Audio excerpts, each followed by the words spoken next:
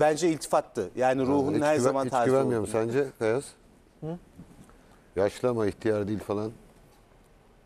İyi algılayalım iyi olsun. Sa- sataş, Yani- sataşma var. Tam Yok. tersi yani yaş alabilirsin de ruhun ihtiyar olmaz. Önemli olan ihtiyarlamamak değil mi? İhtiyarlamamak Doğru önemli olan. Doğru Yaşlanmak tamam ama ihtiyarlamamak önemli. Bakınız şekil 2A. Olay Teşekkür hocaya ederim. sıçradı. Yine bana, yine bana bulaştınız. Teşekkür ederim kardeşim. Devam edelim. Gürcan abi. Erol Hoca'nın eline gelen notlar.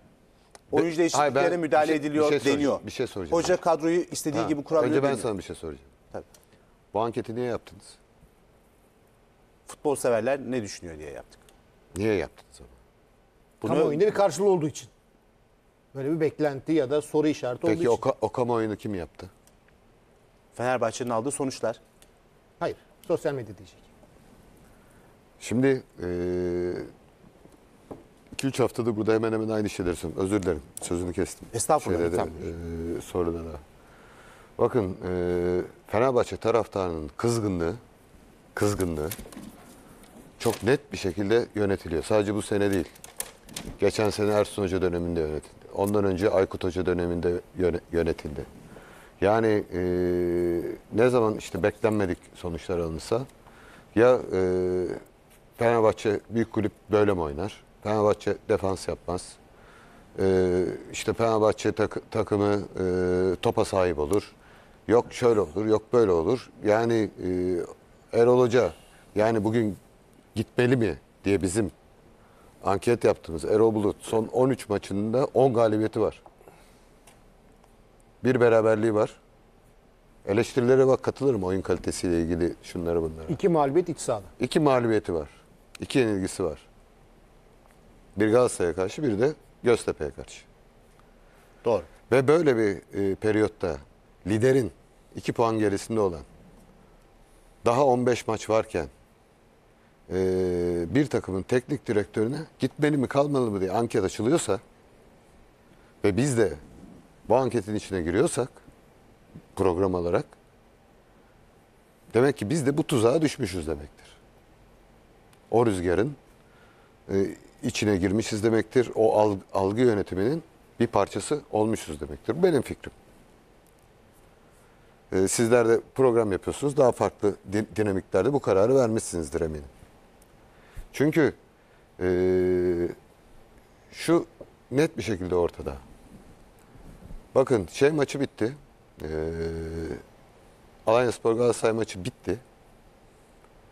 İkinci yarısı maçın 80'e 20 geçmiş. Alanya Spor'un kontrolünde. İkinci 45 dakikası. Kim konuştu Allah aşkına? Galatasaray'ın bir sıfırlık galibiyeti ve hakem Zorbay Küçük konuştu. Aynen. Peki e, 70'e 30 Alanya'nın hakimiyetiyle geçti. Fenerbahçe kazandı. Ne konuşuldu? Sosyal medyada olsun. Bizler burada otururken. Çağdaş Hoca bu futbolla şampiyon olunamaz Yani dedi. "Ay, şampiyon takım böyle mi oynar dedi. Evet. E, mahkum ol- olur musunuz dedi. Yani küçük takım Ama gibi orada oynadı. Çağdaş Hoca konuşturdu. Hayır. Sos, sosyal medyada konuştu. Bizler de kendimizi katalım. Burada konuşuldu. Şey, e, Fenerbahçe Hatay e, takımından at- 30 dakika değil mi dayak yedi orada. Ne konuşuldu? Altay maçın yıldızıydı. Altay'ı konuştuk. Hatay'ın kaçan galibiyetini konuştuk. Bir Gustavo gitti böyle olur mu diye konuştuk. 80'e 20 ne konuşuldu arkadaşlar? Bakın ben e, bu yanlış bir şey demiyorum ama burada yani bu periyotta ve geçen senelerde olduğu gibi. Yani bu örneği verdim bir daha vereceğim. E, Mehmet Ayan da şa- şahididir. Aykut Kocaman döneminde yani o son e, 2018 yılında Kadıköy'de o zaman maçlar seyircili. Fenerbahçe takımı sahaya çıkarken futbolcularına ne diyorlar biliyor musun Feyyaz Hocam? Tribünlere kulağınızı tıkayın diyorlar. Kendi taraftarına. Yani öyle bir kızgınlık, öyle bir öfke, öyle bir yönlen- yönlendirme var ki tabii ki her takım taraftarı takımı sahaya çıksın, takır takır oynasın, topa hakim olsun, güzel pozisyonlar elde etsin, rakibe pozisyon vermesin, şut bile çektirmesin, maçları 2-0, 3-0, 5-0 neyse kazansın ister. Bundan keyif almak ister. Ama eee, bunu sağlayamamışsan, Mehmet'in dediği gibi yanlış transferler yapmışsındır. Ya da Feyyaz Hocam'ın çok eleştirdiği gibi burada e, beraber programdayız, yapıyoruz. Yanlış görevlendirme yapmışsındır. Sistemin doğrudur, görevlendirme yanlıştır. Görevlendirmen doğrudur, sistemin yanlıştır. Yani teknik bak- bakış açısı. Bunlar elbette konuşulacak, yapılacak. Ama bugün zirvede olan bir takımın teknik direktörü daha 15 maç varken, rakipleriyle de maçı varken gitmeli mi kalmalı mı diye konuşuluyorsa bu bir tuzaktır. Başta Fenerbahçe taraftarı bu tuzağa düşmüştür. Ee, kendileri bu, bu tartışmanın iç- içine e, girerek bu tuzaktan çıkmanın da tek yolu vardır. Gidecek Erol Bulut'un takımı Trabzon'da Trabzonspor'u yenecek. Olası bir kötü sonuçta. Ama gelecek olası bir kötü sonuçta gelecek pazartesi akşam Gülcan abi bunları söyleyemeyeceğini bilir. Yani Tamamdır yani. Hayır zaten olası. Finaldir yani. Tabii canım yani gidecek yenecek. Yani Yenemezsen mesela Göztepe'yi yensen Trabzon'da beraberlik iyi bir sonuçtu. Göztepe'yi yenemediğine göre. Çünkü değil mi hocam sizler fikstüre bakarsınız şu maç 2 puan, şu maç 1 puan. Bir planlama yaparsınız. Sezon başı planlarsın 1 puan, 3 puan, 1 Yani- puan, 3 puan. 0 Ve- kimse yazmaz. Aynen, tra- Genelde. Trabzon'da oynayacağınız maçta da beraberlik bir puan aslında iyi iyidir. sonuçtur.